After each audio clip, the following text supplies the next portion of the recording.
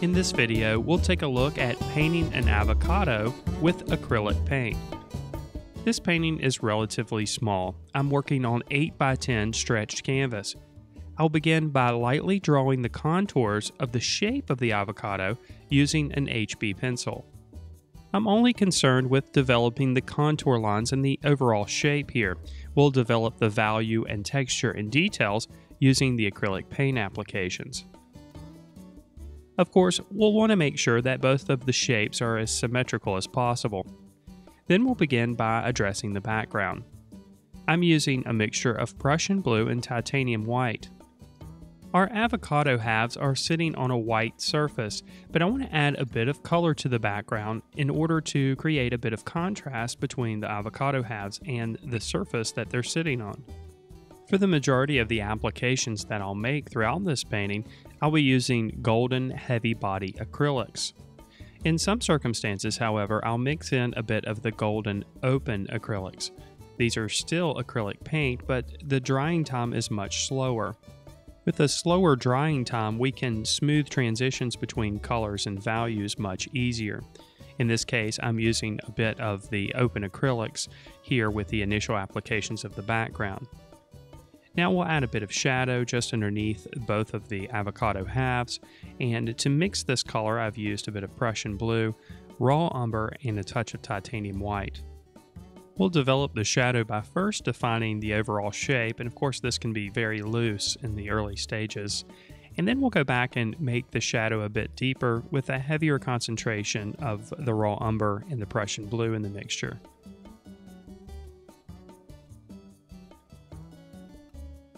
And since the paint is still relatively wet, we'll work quickly to create a smoother transition between the area of background around it and the transition area that goes into the area of cast shadow. Of course, we can pull the brush in multiple directions and try to make that transition as smooth as possible. This is where using the open acrylics is especially helpful because the paint has not dried completely and we can continue to work it. Now, eh, using the open acrylics is not going to give you drying times that are comparable to oil paint, which is a very slow drying time, allowing you to work transitions for a long period of time. But it is a bit slower as far as the drying process goes compared to traditional acrylics. Now we'll continue to go over the top of this shadow with uh, the mixture of Prussian blue and titanium white and just tone down the shadow a bit. We'll revisit the shadow later in the painting process, but initially we just want to get some contrast in value and color on the surface before we start addressing the avocados. Now with our preliminary applications applied to the background, we can start to address the core color of the avocados. This is a mixture of Hansa yellow and sap green, and I'm just going to apply it to the shape of both of the avocado halves. And I'm using a liberal amount of paint here, and uh, we're going to just put a heavy application. Then we're going to layer over the top of it with darker versions and lighter versions and slight variations in the color to develop the texture and detail on both of these avocado halves. Of course, I'm going to leave an open space at this point for the seed in the avocado.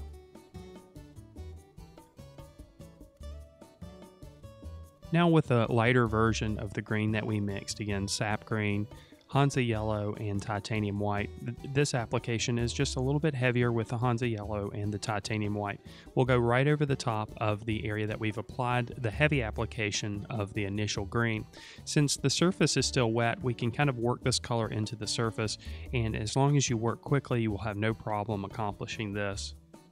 And it's important to point out here at this point, I'm using a little bit of water mixed with the color, but not a whole lot. I'm just using a little bit of water to aid in the fluidity of the paint a bit. And of course, we'll do the same thing with the second avocado half. And as we work, if the color gets a little bit light or changes a little bit, we want to we want to make sure it's consistent on both of the avocado halves, so we can work back and forth between the two to maintain that consistency between each of the halves. And of course, we'll work as quickly as possible to ensure that we are able to get those transitions from those darker green sections around the edges and then the lighter green areas closer to the center of the avocado halves. And then we'll just simply continue this process, progressively getting a little bit lighter and a little bit more yellow as we get closer to the center. So again, we'll just keep working with that mixture on our palette of the Hansa yellow, the sap green, and the titanium white. And we'll just vary the concentrations of Hansa yellow and titanium white that we add to the mixture.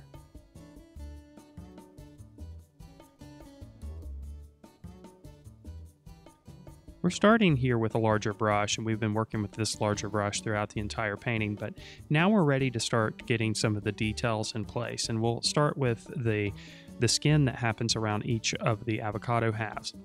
To create this color, I've mixed the sap green, a bit of Prussian blue, and a good amount of raw umber. I'm not going to use any black in this painting at all. I'm going to try to affect the value of the color by mixing other colors such as raw umber and Prussian blue to make the value a bit darker.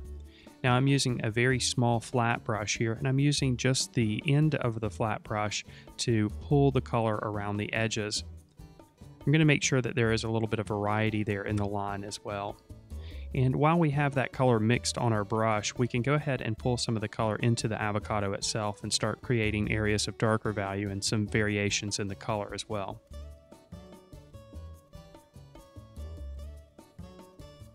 As we create some of those darker greens around the edges of the inside parts of the avocado, we can create a bit of a transition zone um, by taking a bit of that lighter yellow green and just working that in as we go. Um, so we're, we're working in small areas as we go to keep the paint wet in those areas so that we can work those transitions as we see fit.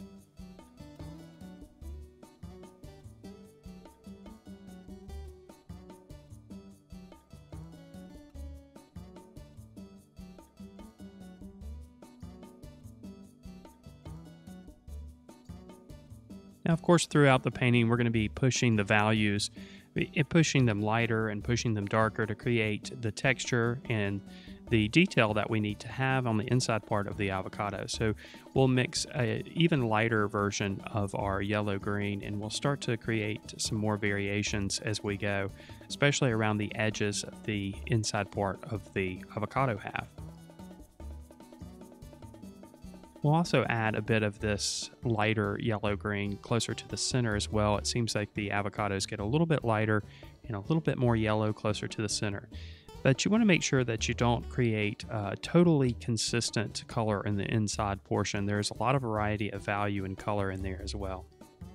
Now, of course, we need to consider the light source, and we have done that to a certain extent by creating a bit of cast shadow underneath the avocados. In this case, the avocados are sitting on a table and there's light coming in through a window, and this is going to create an area of shadow inside of the pit of the avocado on the left. So to mix this shadow, I've created a little bit of a darker version of our yellow green by mixing a little bit more of the raw umber in to the mixture and we'll put that on the inside portion. Now we're going to continue to work the dark and the light within this section to make sure that it looks like it is actually a recess within this, this avocado half. So as you can see, I'm using a bit more water here and creating almost somewhat of a glaze over the top, but the glaze wasn't behaving as expected, so I went ahead and mixed a thicker mixture of the color and used a larger brush to fill in this area of shadow. Now, we'll also need to work the lighter side of the recess in the avocado as well. And then we're going to create that transition area while both sections are still wet by working the lighter applications, the lighter value over the top of the darker value.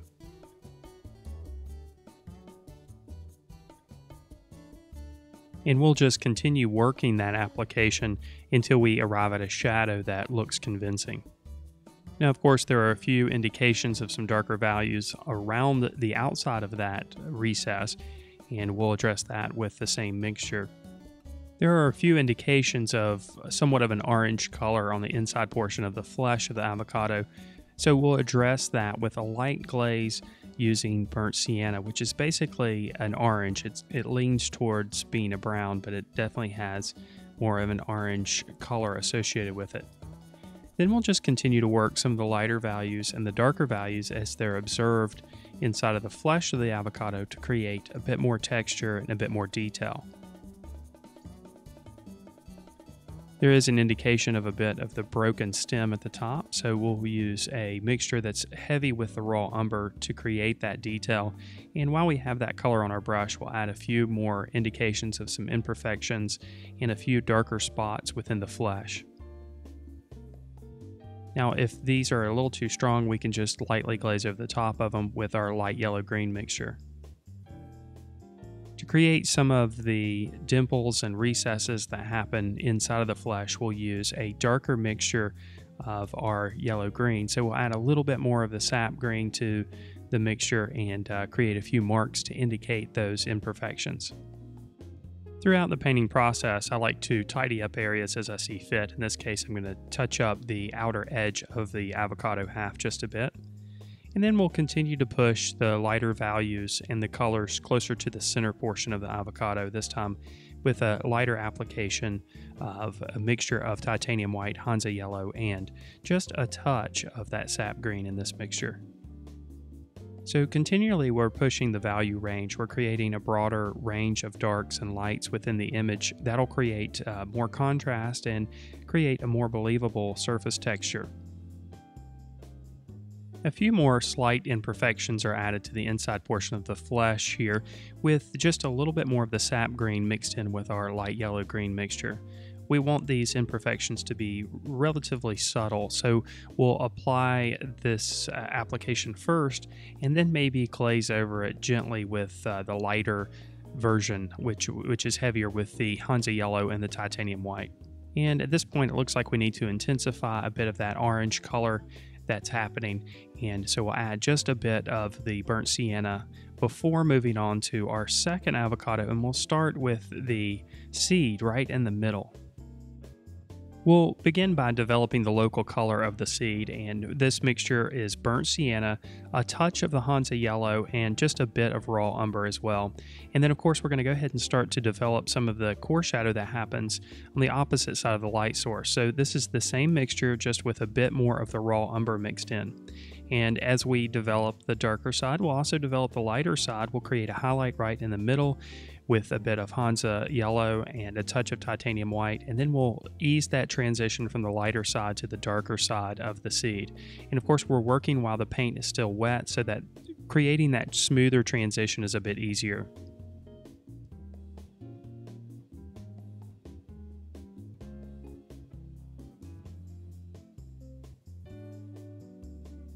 Now we can make that shadow a bit deeper, a bit stronger with a little bit more of the raw umber mixed in.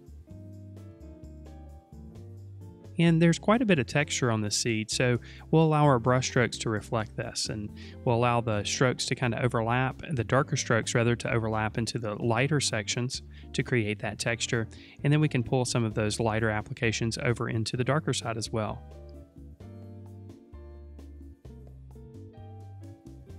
Then, just as we did with our first avocado half, we can develop that slightly darker value around the edge of the flesh section and create that transition to the lighter section as well. So we'll work while the paint is still wet and we'll apply some of that darker green around the outer edges and then progressively create that transition to the lighter yellow green closer to the center portion of the avocado. And of course, we'll do this all the way around the outside portion.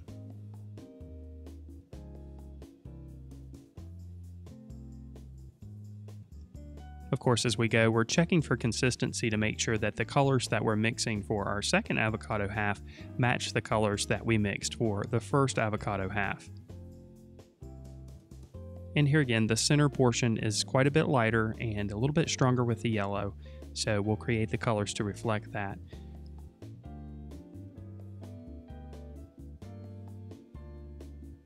Now you'll notice that if you're doing a painting like this and you're working in small sections like we are, and you have a repeating element, in this case we have a second avocado half clearly, you'll notice that your second attempt at creating the same illusion is going to go a lot faster because you have a little bit more experience. Um, you've already mixed these colors once, you've already went through the process, so it's going to be a quick, uh, quite a bit quicker with your second attempt as we can see here.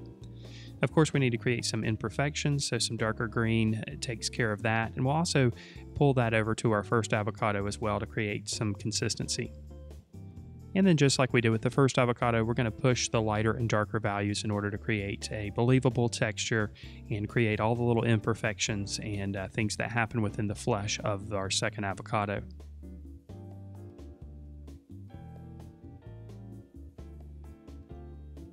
And remember, if your colors get a little too strong, if they get uh, a little too dark, uh, in this case, you can always lighten things up with just a light glaze of a lighter version of the color right on top. And what I mean by a light glaze is simply mixing a bit of the color or the, the paint with a bit of water and then lightly going over the top so that some of the color underneath still shows through.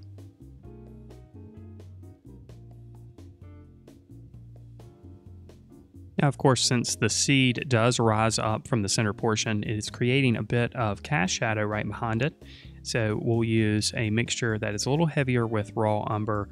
It still has some of that sap green in it uh, because the flesh itself is kind of a yellow green.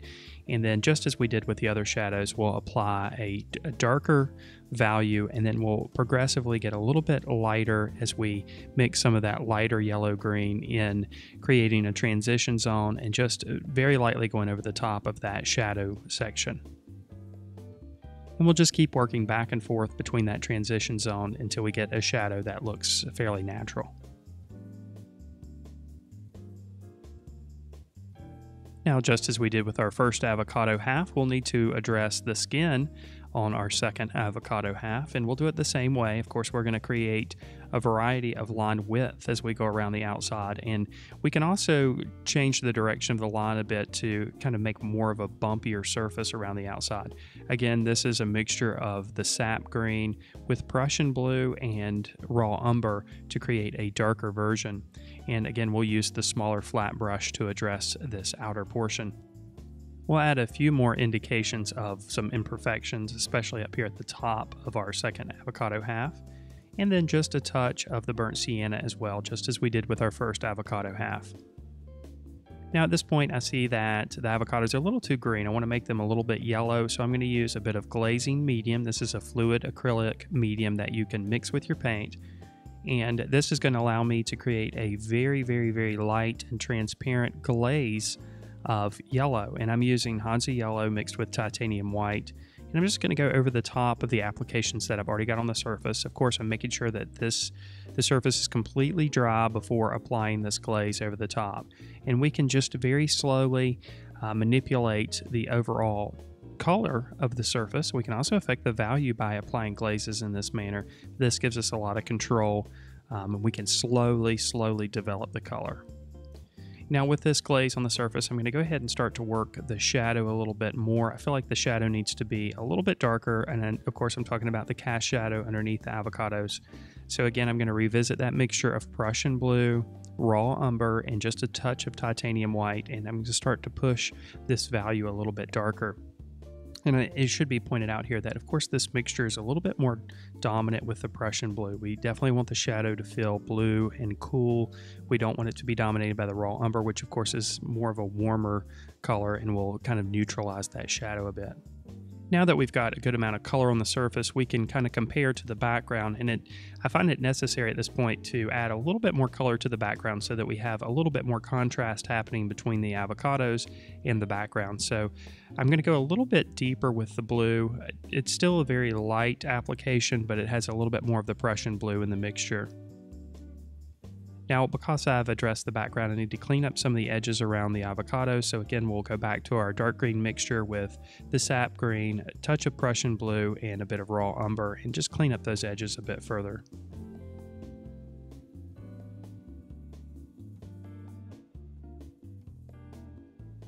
And now that our edges are all tidied up, our painting of an avocado with acrylic paint is complete. Thank you for watching, and I hope this video helped you out. If you're ready to learn more about acrylic painting, I suggest you check out the Acrylic Painting Academy. The Acrylic Painting Academy is a comprehensive painting course designed to guide absolute beginners to a level of producing professional quality acrylic paintings through concise and easy to digest modules that include high definition videos and ebooks. Designed for beginners, this course lays the foundation required for success with acrylics and painting in general. A wide variety of subjects and topics are covered in this course, including materials, surfaces, and tools, how to create the illusion of light and form in a painting, stretching canvas, direct and indirect painting, color theory, and color mixing are all covered. And we also cover a variety of different subject matter, including still life, landscape painting, as well as abstraction and non objective painting. Now, I understand not everyone learns by watching videos, so downloadable ebooks are also included with each module to help you learn more efficiently. The course is over four hours of video instruction, and it also includes 14 ebooks. So, if you're ready to learn more about acrylic painting, I suggest you take a look at the Acrylic Painting Academy.